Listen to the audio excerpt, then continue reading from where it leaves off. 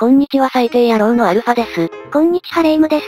今回からゆっくりで動画を作ってみることにしました。なんでいきなりゆっくりなんだよ。だってさ、夜中でかい声出すと家族に怒られるんだよ。お前完全に家での立場低いな。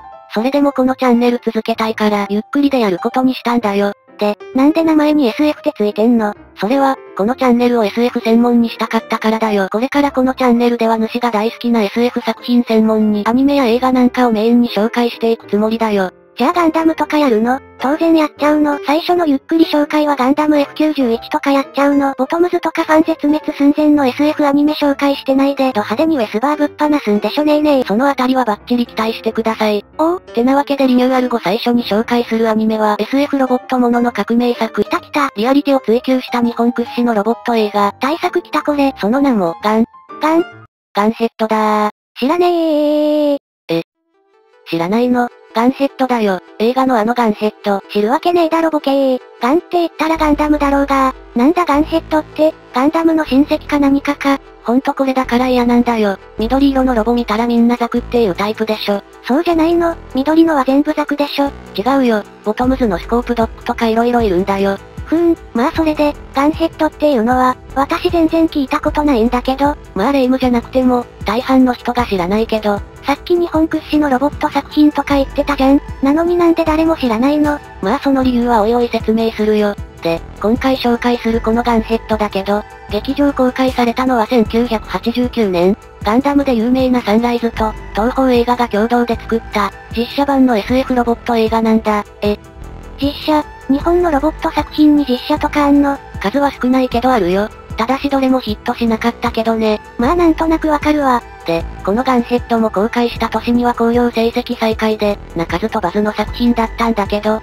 なぜか僕みたいなファンが未だにいて、どういうわけか期間限定でスパロボにも参戦できたよ。何その変な作品？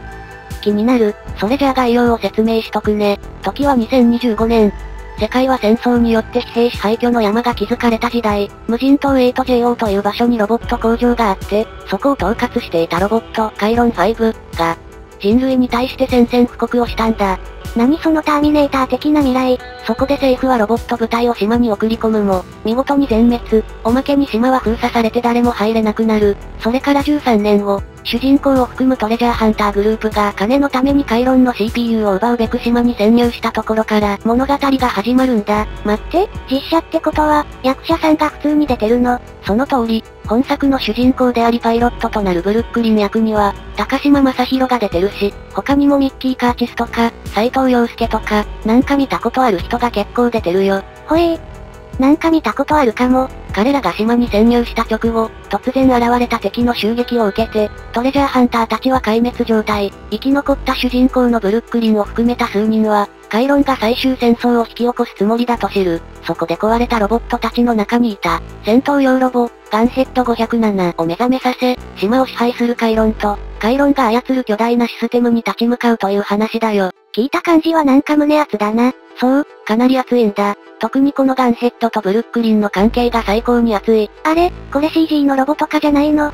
いや、これも実物を作って撮影しているんだ。特撮だからフルスケールのガンヘッドもあれば、小さいのやコクックとのみと使い分けてる。えー、そんなことできたの？このガンヘッドは正しくは戦車の進化系で、局地専用可変装甲戦闘車両と呼ばれてる、あらゆる地上での戦闘を想定されて作られていて、地対空戦闘にも長けているのが特徴だ。何言ってるかわかんないけど、とにかくすごいのね。そして極めつけはこの、スタンディングモード、があることなんだ。せ、戦車が立った？そうなんだ。この戦車は立ち姿勢があって、格闘戦までやってしまう激アツ戦車なんだ。ええー、何回見やるのそれ？そんなものはない。設定であったとしても後付けの言い訳で、単純にかっこいいから立たせたに決まってるだろ。男の子のそういうところほんと嫌い。しかもガンヘッドは AI が搭載されていて喋るんだよ。このガンヘッド507は島に最初に送り込まれて全滅した無人機の生き残りで、他の仲間は全滅してる。こいつもロボット墓場で眠ってたんだけど、ブルックリンたちが島から脱出するために修理されて、友人型 AI ロボとして復活したんだ。AI なのにパイロットが乗るの？そうなんだ。だからパイロットに色々なアドバイスをしてくる。おまけにジョークをよく言ってくるし、好きなものが野球だったり変な戦車なんだ。ごつい見た目なのにフランクなやつなのね。さらに、誇り、という概念が理解できるらしく、彼らはスタンディングモードになることを、ロボットの誇りとしてるんだ。これだから男の子って面倒。とにかく、このガンヘッドとブルックリンが、色々な掛け合いをしながら戦うのが本作の見どころだ。そ、そうなのね。でもこれ実写ってことは、そう、セットからロボからパイロットから、みんな実物。うわぁ、すごい大変そう。変形シーンも実物を動かしているんだけど、とんでもない労力がつぎ込まれてるから、見るだけで感動できるよ。そこはすごい迫力がありそうね。アニメのロボットの戦闘シーンはスマートなものが多いけど、ガンヘッドの戦闘は本物の火薬も使用してるからアナログならではのリアリティがあるよ。なんかすごい、変形シーンも走行シーンも全部特撮だから重厚感がすごい、生身の迫力があるんだよね。すごいわね。というかこれ作るのが一番苦労しそう。間違いないよ。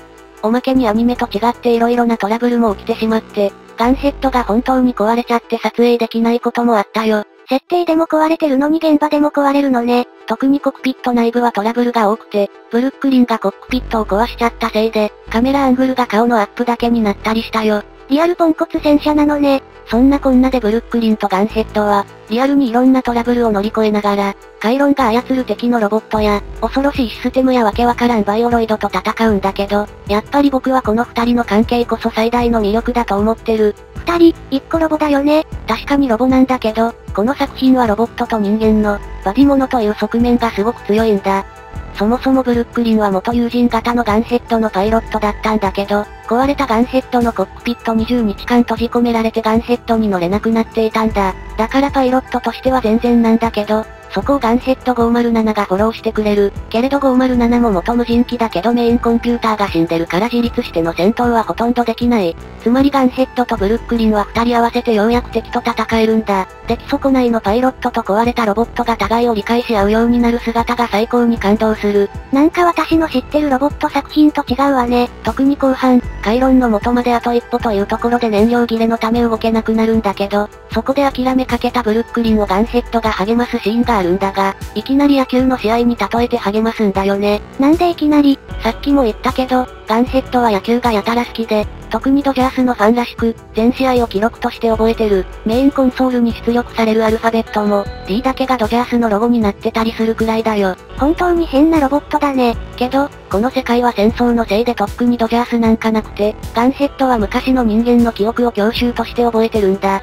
教習教習は SF 作品にたびたび登場するものなんだけど、AI やコントロールされた人間が自我を確立するために必要なものなんだ。その教習をガンヘッドは野球として手に入れていて、ロボットとしては鋭利ない言動をする。普段の戦闘ではブルックリンに確率に重きを置く AI らしいアドバイスをするんだけど、燃料切れで諦めたブルックリンがガンヘッドを降りて自殺行為同然の単独行動をしようとした時には、確かに9回裏2アウトで確率で言えば勝ち目はない。けど、そんなものクソくらいでしょ。と、まるで人間みたいなことを言ってくるんだ。なんかもうほぼ人間だよね。おまけにその後ウイスキーを代用燃料にして起動するからね。なんでウイスキーで動くねん一応エチルアルコールは何でも燃料にできるらしいけどそれでも酔っ払うみたいだね。その後残り少ない弾薬でもガンヘッドと戦う覚悟を決めたブルックリンがコックピットに乗り込み、俺たちがどんなにすごいか回論に思い知らせてやろうぜ、と言うと、ガンヘッドはなんて答えたと思う？なんだろう、やってやろうぜ、みたいな。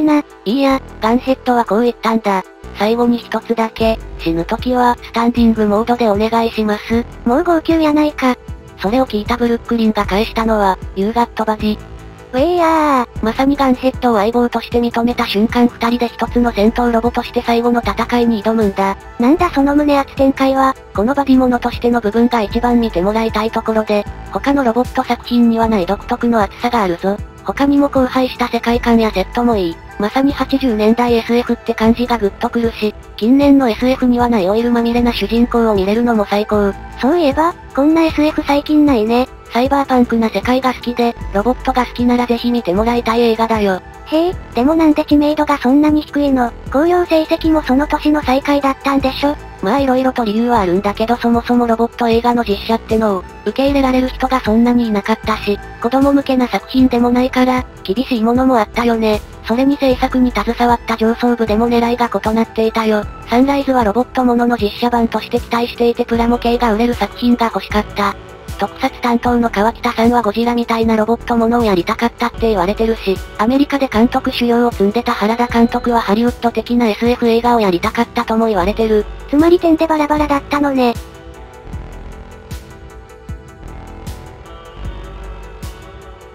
おまけにロボットのかっこよさとか胸圧展開がメインなのに作品自体はダークなトーンで映像が暗くて見にくい。きっと監督はエイリアンみたいな世界でターミネーターみたいな映画を撮りたかったんだろうけど、ちょっとアンバランスだし、やりたいことを詰め込みすぎてる。おまけに各陣営のちぐはぐな力の入れ方もあって、それが原因で、結局誰得映画とかして受けが悪かったんだろうね。なるほど、実写ロボット映画って難しいね。実験的な試みとして評価できるけど一般受けはまず無理なんだよ。